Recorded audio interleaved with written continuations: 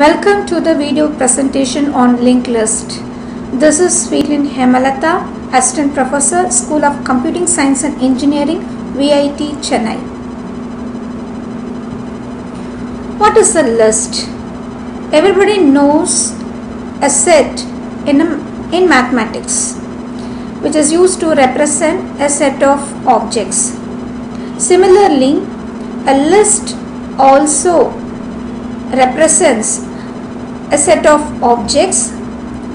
However, unlike a mathematical set, list is a dynamic set that is it can grow and shrink, shrink dynamically.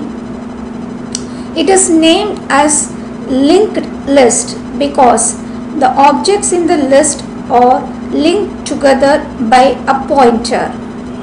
So linked list is a data structure in which all the objects are arranged in a linear order. We have already studied about arrays which is a linear data structure. Then what is the difference between an array and a linked list? In array, the memory space is contiguous. That is, if you declare an array of size 10, 10 memory spaces will be allocated by the compiler. Suppose let us consider the starting address of an array as 1000 and each element occupies 2 bytes then the next element is available in 1002 then 1004 and so on whereas in linked list the memory location is non-contiguous so this no this object is linked by a pointer but the address is not the contiguous space whereas it is non-contiguous because memory is allocated from heap which contains the list of free spaces. So the linear order in array is determined by the array index that is 1, 2, 3, 4 and so on whereas in the linked list the order is determined by a pointer which is indicated as an arrow here. And in array the size is fixed that is if you are declaring an array of size 100 you cannot expect the array to store more than 100 elements. Whereas in linked list it is dynamic. Memory is getting created only when the object is created. So memory allocation and uh, deallocation are dynamic in the case of linked list. In array whenever you want to do insertion or deletion operation it involves a series of shift operation to reflect the change in the structure of array after that operation has happened. So it is expensive whereas in linked list it involves just pointer adjustment to show the changes after insertion or after deletion. So these operations are inexpensive in the case of linked list. Now this presentation covers the concept of singly linked list. What is meant by singly linked list? So in this list each element is going to be an object with two fields. Here it is represented as node and each node has two fields namely data field and next field which is a pointer. So it points to the next node in the list. That is next will contain address of the next node let us consider a list L which holds three objects with the data 31 10 27 as shown in this figure. See this is the last element in the list so the next pointer is null represent as a slash here. What you need to traverse the entire list is the starting address of the list. Once you know the starting address, you can traverse the entire list by following the next. So here we have a component known as header of the list which is denoted as head. The yellow block represents the pointer head which is pointing to the first node in the list. Now once this is known you can traverse to 31. The next element address is available in the next part. So it's pointing here traverse to 10. The next part pointing here traverse to 27. Then no more elements in the list. So like this we can traverse the entire list. Having seen the structure of the list, how will you define a node? So here the node has two parts data and next. In C programming language, we have a data type known as structure which allows us to declare a variable which can hold elements of different types. So here data is of type integer. It can also be of float type, character, string or double or anything. Whereas the pointer next is of type node again because it is pointing to the node of same type.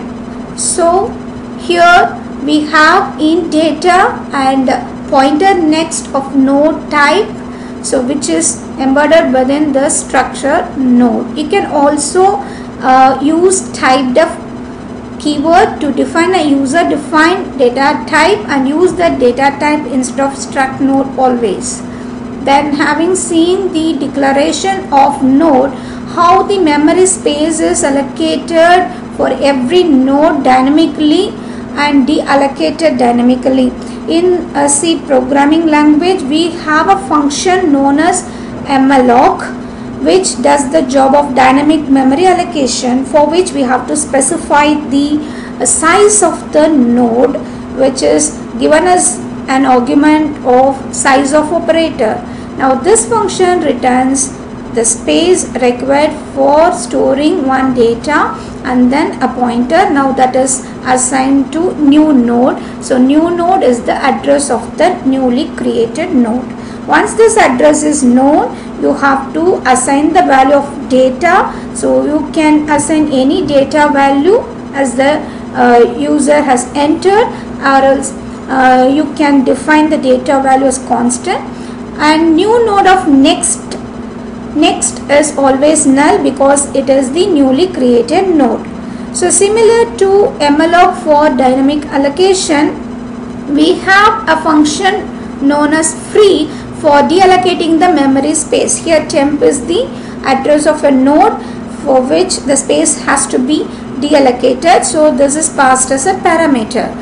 So you can use malloc for dynamic allocation and free for dynamic deallocation okay in C++ we have equivalent operators like new equivalent to malloc in C and delete in C++ is equivalent to free in C. So now coming to the operations of a list, let us start with search operation. So the search procedure finds the first element that matches with the key k by employing a simple linear search starting from first node reaching till the last node returning the address of the node at which it finds a match with the key. Suppose the key k is not in the list, it will return null. This is the pseudo code for the same. So search, we are passing the key and uh, we are going to traverse the list and head as I mentioned in the previous slide head always points to the first node in the list. So if you are changing the head value then the address of the first node gets changed. So if we don't want to disturb head it's better to assign the value of head to some temporary variable pointer variable. Here it is temp then use that variable for iteration. So here we have a looping construct like while we have to traverse the entire list. And we have to uh, check whether the data is k. So we have a condition like temp not equals null. That is we have moved to the end. And then temp of data as long as the data is not equal to the key what you are searching you keep on moving in the list. That is you keep on updating the temp. That is each time temp is updated as temp of next. So uh, at one point of time if you have come to the end of the list that is your temp is equals null. If you are moving to the next node after the last node when temp is incremented temp will be null because the next of last node is null. So if you are coming out of the loop by satisfying that condition means that the element is not present in the list or else you can also come out of the looping construct when you find a match. So whatever is there in the temp will be returning. If it is not null, it will be the address of the matched key. Otherwise it is null if it is list is exhausted and there is no key in the list. Coming to the insertion operation in the list, there are various possibilities like the new node can be inserted at the front or at the end or anywhere between front and end that is at the middle. Let's see one by one. Insert at the end. Insert at the front or beginning of the list. Now we let us consider the head is pointing to null because there is no node in the list okay now let us consider this is the newly created node with the data 21 and the next pointer is null. How, how will you insert this node to the list? Since the list is empty, it's enough to make adjustment in the head. Head should point to this new node. Now it is pointing to new node. Now this is inserted at the front. Now the cases Suppose we have some non-empty list having some values of this kind. Now in this case this new node has to be inserted at the beginning.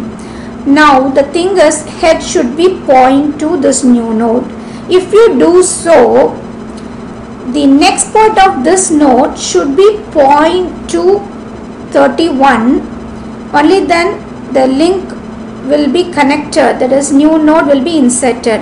But how will you get the address of this node if you change the head pointing to 21 because this head is actually containing the address of this node 31 so before adjusting the head pointing to new node the first change should be the null part of this next node which was initially uh, like that should be updated to point to this node because the address is available in head.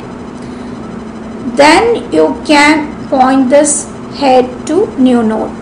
While changing the address of head now this link gets cancelled so the link goes like this head is pointing to new node now that's 21 then 31 10 27 now the node has been inserted at the front. This is a pseudocode for the same. So insert begin. If head is null, that's the first case, list is empty.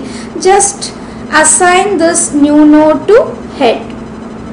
Otherwise, if the list is not empty, first you have to assign the next part of the new node using the head, previous head, then update head to new node. Then coming to insert at the end if you want to insert a node at the end of the list. So now the cases list is empty. We have the new node and it is similar to insert at the front head will be pointing to the new node. Suppose if the node is if the list is not empty then this new node should appear as the last element. So what is the current last? It is 27. Now after updation the new last should be 21 so for this what you know is the address of the first node so you have to start from the first node traverse the entire list then reach the last node once you reach the last node you will know the address of the last node knowing the address of the last node you have to update the next of the last node to point to the new node. Now the list gets connected 31, 10, 27 and 21. Now this is the pseudocode for the same insert at the end. So initially we are assigning temp to head because we are going to traverse the list. So we have to be in the loop till the temp of next is not equals null. So temp of next is equals null only for the last node.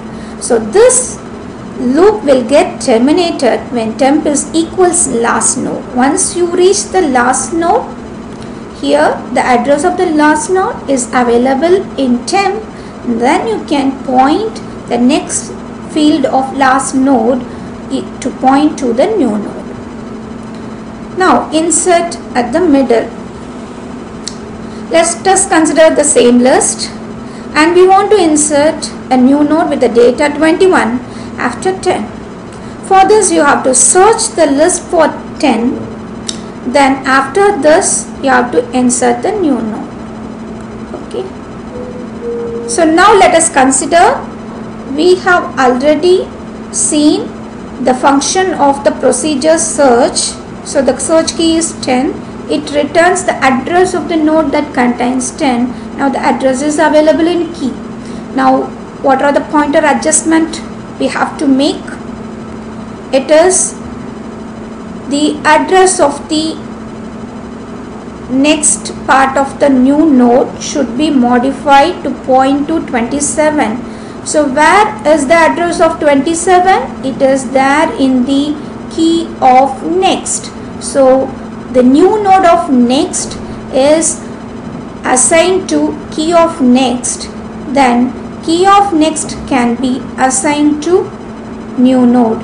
Now by doing this change here, this link which was there already gets cancelled. So the link goes like this. We have 31 as the first node in the list, then 10, then 21 and 27. So we have inserted 21 after 10. You can also try insert any value before any element in the list. This is for insert middle the pseudocode. First is you are calling the method search with the search key and the address of the matched key is available in key then if it is not null that means you have found a match and then the first change should be new node of next should be equals the key of next and key of next should be equals the newly created node new node so if it is null, it means that the search key is not in the list. So the position you have defined in the operation is invalid. Having seen the insertion operation in the list, let us see deletion operation. So again deletion can also be of three types. Delete the front node that is one at the uh, beginning or delete the node at the end or delete any node in the middle between front and end. So all three possibilities can be tried in delete operation 2. Let us see one by one. First one is delete front. So let us consider the same list with three elements and the head is pointing to the first node. Now we have to delete this first node that is delete.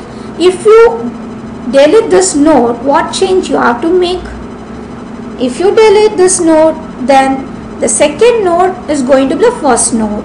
So whatever was pointed to by head should be now made to pointed to by 10 that is the pointer adjustment you have to make.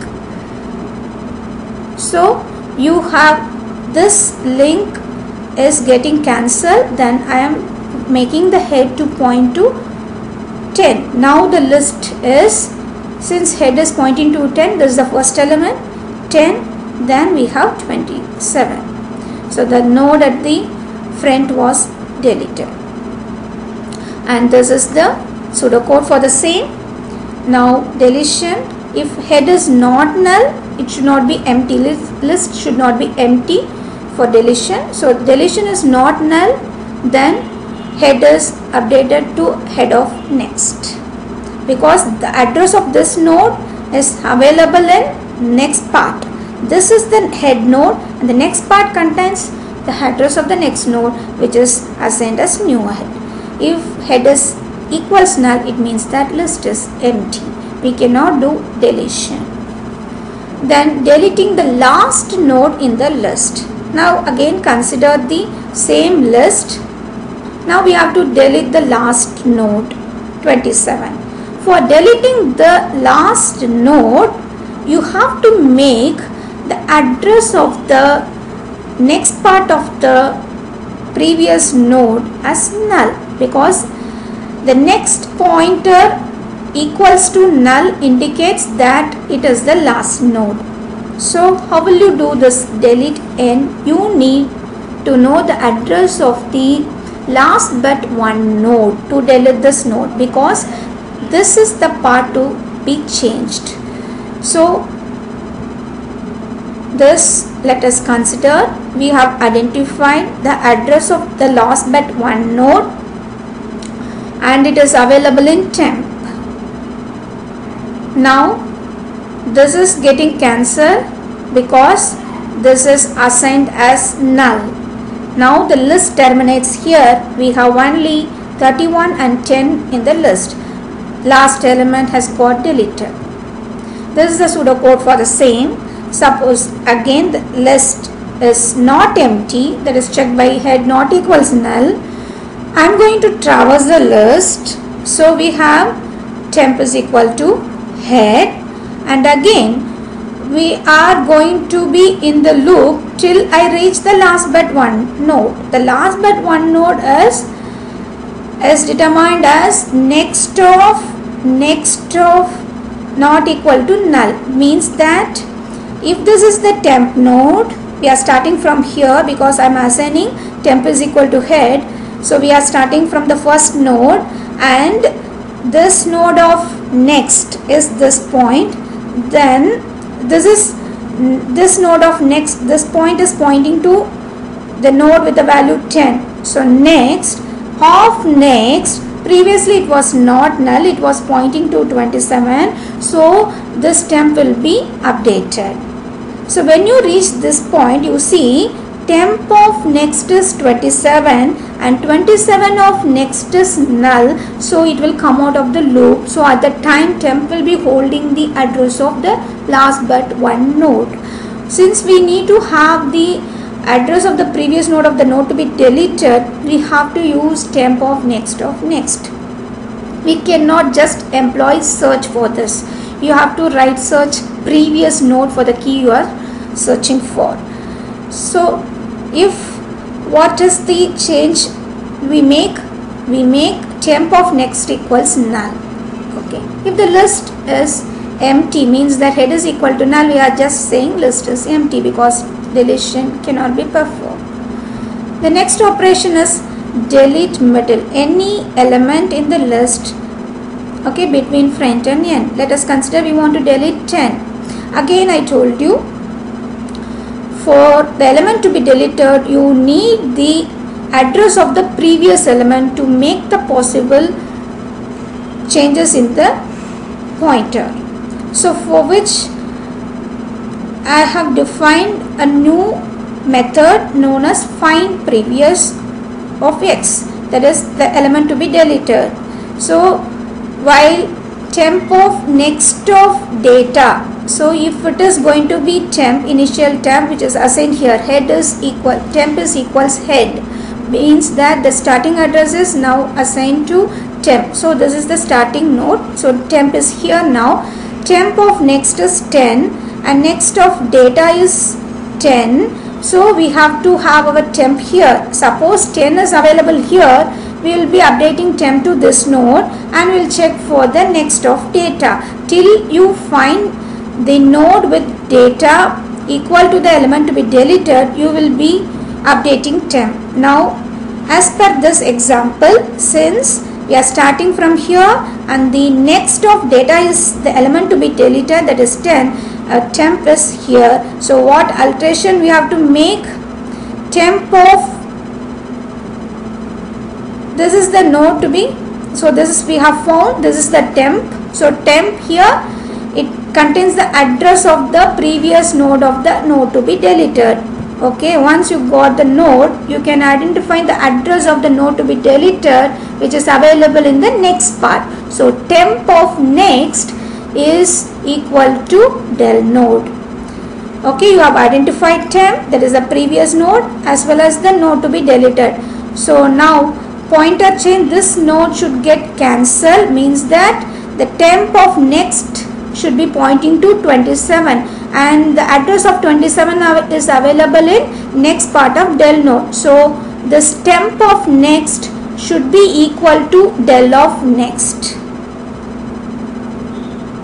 So if you make that pointer modification the link is getting broken. So we have after 31 now the link goes to 27 so 10 is deleted. What are the uses of linked list linked list can be used to implement stack queues trees graphs and for hashing. You can always try linked list implementation for stack and queue operations uh, similar to array implementation of stack and queues. Trees, how a general tree can be represented with linked list. This is a sample tree. Here you can see many nodes in uh, hierarchical fashion. Now this node A has three children so C, D, E. So how this is represented with list means we have a node with the data value A and the next pointer is pointing to uh, the first child the first child and all the other child nodes that is siblings are represented as a list. So in this way the general tree can be represented with the help of linked list. Now coming to graph, this is a sample graph and a node uh, 0 is adjacent to 1 and 4. So we have a matrix kind where the rows and columns are the number of row nodes in the graph and we have 0 is adjacent to 1 and 4 we have an entry 1 in the respective cells other values of 0 means that it is not adjacent to those nodes. This we call it as adjacency matrix. This matrix is going to be a sparse matrix because you, you will have a few non-zero values and most of the values will be 0. So instead of going for this kind of representation which results in wastage of memory space for storing zeros, we can always think of this representation uh, that is adjacency list instead of adjacency matrix we have same nodes and whichever nodes are adjacent to uh, this node 0 is represented as a list. This preserves the space. Then coming to hashing is something like uh, for searching a value.